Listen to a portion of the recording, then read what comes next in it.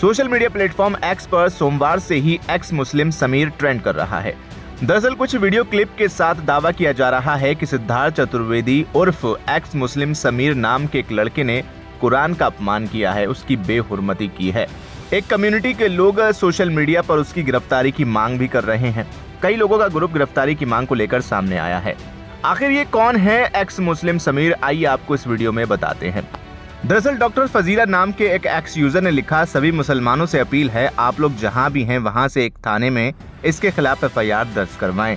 सिद्धार्थ चतुर्वेदी, यानी एक्स मुस्लिम समीर ने पवित्र धार्मिक कुरान का अपमान करने की कोशिश की है, उसकी बेहुरमती की है, वो भी अपने वीडियो में। इसमें उत्तराखंड पुलिस को टैग करके सख्त कार्रवाई की मांग की गई है। सोशल मीडिया पर इस तरह के पोस्ट की भरमार है। लोग वीडियो क्लिप को शेयर करते हुए तुरंत गिरफ्तारी की मांग भी कर रहे हैं। दरअसल एक्स पर किए जा रहे दावों का हरिद्वार पुलिस ने भी संज्ञान लिया और सोमवार रात साफ़ किया कि इस तरह की कोई घटना नहीं हुई है और अफवाह फैलाने वालों पर एक्शन लिया जाएगा। हरिद्वार पुलिस ने बयान जारी कर कहा, संदर्भित प्रकरण में एक्स मुस्लिम समीर पिछले लगभग तीन साल से पाडली गुर्जर नाम स्थान में नहीं रह रहा है।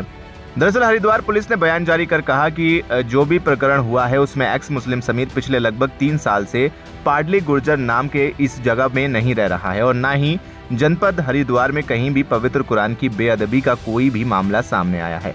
इसलिए बिना जानकारी के कोई भी इसे शेयर न करे, वरना आपके विरुद्ध वैधानिक कार्रवाई की जा सकती है। उत्तराखंड पुलिस ने भी सोशल मीडिया पर किए जा रहे दावों को फेक न्यूज़ करार दिया है और कहा है कि वीडियो शेयर करने वालों पर कार्रवाई की जाएगी। तो चलिए आपको बताते हैं आखिर कौन है समीर चतुर्वेदी। दरअसल समीर उर्फ़ सिद्धार्थ चतुर्वेदी एक यूट्यूबर है।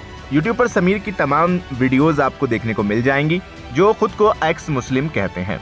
वहीं इसके अलावा कई टीवी डिबेट्स में भी समीर को देखा गया है। इसके अलावा समीर कंटेंट क्रिएटर हैं। फ़िलहाल समीर के बारे में अब तक जो उत्तराखंड पुलिस से बात सामने आ रही है, वो यही है। आप क्या कहना चाहेंगे इस पूरे मामले के बारे में? कमेंट सेक्शन में लिखकर ज़रूर बताएँ। वीडियो को लाइक करें शेयर करें और चैनल को सब्सक्राइब करना बिल्कुल ना भूलें।